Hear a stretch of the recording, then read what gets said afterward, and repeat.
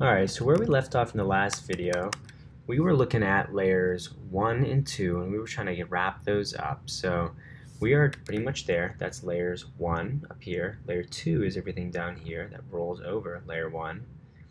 And we included something that we almost called like layer 0, which was just this background color. That's all. It wasn't anything too fancy. And it helped us get this nice gradual fade. It was a little less uh, abrupt than the old one. So we're done with layers 1 and 2, and now we need to work on layer 3. So if we move over to layer 3, let's just ignore these three areas up top, okay? We just want to look at this button right here, okay? This, These three top ones are an animation that we'll work on later on. For now, let's just focus on, focus on these right here. So our goal here is to essentially create a play button that resides right here. Okay, if we look back at this, play button that needs to scroll up with all the items that are um, that are part of this playlist. Now what we'll work on later is this transition or this animation. As it progresses to the top, we get this as it pauses right there and converts to the play sign rather than the word play. But we want to first work on just getting this movable button, okay? So first things first is we need, we need to just get this button into place. And then we need to figure out how to let it move, and then we need to figure out how to animate it. So those are the three the three pieces. I think it's important to look at the end product and recognize the most elementary pieces of it. So first let's just make a button that goes right there. So just to refresh ourselves, the way this the way we're adding these layers on top of each other is we are looking at what we call the z-stack. So a z-stack let us add things on top of each other like so. So layer 0 was that background color. Layer 1 was this, layer 2 is this, layer 3 will be this right here, okay, this play button. So let's go ahead and add layer 3. So layer 3. Now, layer 3 is obviously going to have a text, and that text is going to say play, okay, and let's make it say play in all caps, okay. That text will obviously be white, so it's foreground color will be dot white. Okay, there it is. Stationary. It's not doesn't look the way we want it to yet, but we made it. Now it's just a text, okay? And now we're going to give it a background color. Okay. Background color. We'll look at Spotify's branding, um, their official branding guidelines. So we can actually click right here and it'll give us the exact guidelines. Let's see if they give us the color. Here it is. Uh, RGB. It's 30, 215, and 96. So type in red, and it'll give us the initializer that lets us do RGB. So it'll be 30 over 255. The next one will be 2 and 5 over 255. And the next one will be 96 over 255. And when it updates, when this view updates here, we'll get the color we're looking for. There's the nice Spotify green that we're hoping for, okay? And what we need to do is we need to make it wider.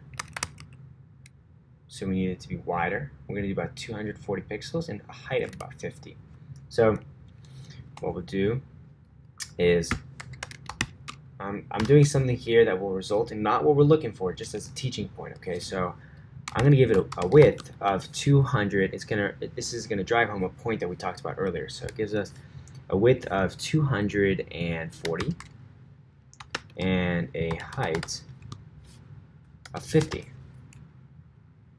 And and this truly did play out the way we had wanted it. This this is exactly 240 wide. This button or this text is 240 wide and its height is 50. And it doesn't look like that.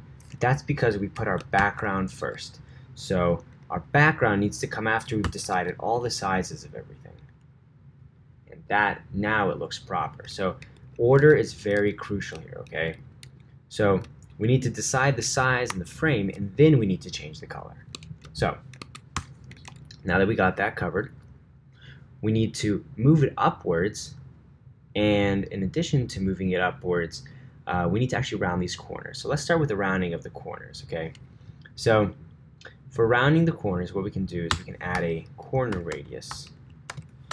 And to get a nice perfect, so if I can make a corner radius of 5, for instance, but it just kind of rounds the edges. It doesn't give us this like perfect half circle end, and there's a nice formula for that. The formula for a perfect half circle end is just half of the smallest edge. So if this is 50 tall, then we need a corner radius of 55, oh, sorry, of 25. That gives us the perfect half. So that means from it was using this, the, the radius of the circle is 25. That's where corner radius comes in. So we're getting close. We're making something that looks kind of like what we're, what we're looking for, all right? Maybe we'll just perfect the font really quick. We'll say the font will be dot system, and we'll do size and weight uh, dot bold. The size will be of 20. Looking good. All right. And now, now what we need to do is we need to be able to move it up and down. So by default, this is not technically in a vertical stack, or this is just a text and it's dead center because we haven't put it in a vertical stack. So what I can do is I can take this text and I can command click, or I can type it out, but I like to command click, embed in VStack. Now we got it in a VStack. It's still in the center though. So what we can do is below the text we can put a spacer to push it all the way to the top. Still not where we want it. We can put a spacer that pushes it back towards the middle since the two spacers have equal priority. One pushed it down here and the other one pushed it back up. And we're back in the center, but now what we can do is we can actually play with the frame of this spacer. So we can say its frame has a height of 100.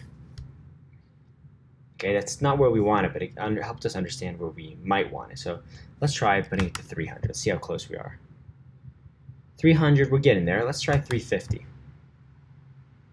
350 looks just about right. Maybe maybe a nicer number would be about 340 or maybe 320. Let's do a nice 330, let's say 335. So that's pretty close to where we want it. So the first thing we said we're trying to do is create the button and place it where we want it. We're not worrying about whether it scrolls or not. We're not worrying about any animations. So we've achieved our first goal. We have a button that is where we want it. So we look here, we created this button, good to go. The next thing we need to do now is we need to make this button move. Because if you look, if I scroll, the button does not move. Okay? So I've I my first option was to put this play button within the scroll view. But if I were to have done that, that would have actually been a little a little bit prohibitive when it came time to animate it. So what I did instead is I put it on top.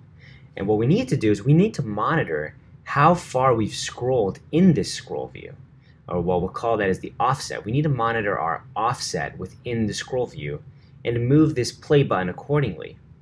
But what's important to realize is technically when we move this play button, we're not necessarily moving the button. What we're actually doing is we're changing the frame or the height of the spacer above it. So we need to move this progressively upwards by, by slowly minimizing the size of this frame. Okay, so the way we're going to do that is something called Geometry Reader. Okay, so Geometry Reader is almost like this all-knowing eye of, of essentially what is happening and, and the heights of uh, the heights of different areas and the offset of different things. And to give you a better understanding of that, what we'll do is the following. So instead of saying, we'll walk we'll walk through and you'll kind of get a feel for how it works. Okay, so Instead of saying the spacer has a height of 335, let's go ahead and create a variable up top that's called, um, we'll call it play button offset. Okay, this has to be a CG float. We discussed what a CG float is in a previous video. The CG float has a value of 335, and now we'll just say that the spacer up top has a height of, of this value up here. So that way, if I change it up here, it changes down here, okay? I'll resume, and nothing should have changed visually. Everything should look exactly the same. For the next part here, when we get into the geometry reader and uh, making this play button move, uh, that part's going to take a little bit of time, so why don't we wrap this video up and we'll get going to that in the next video. Alright, thanks.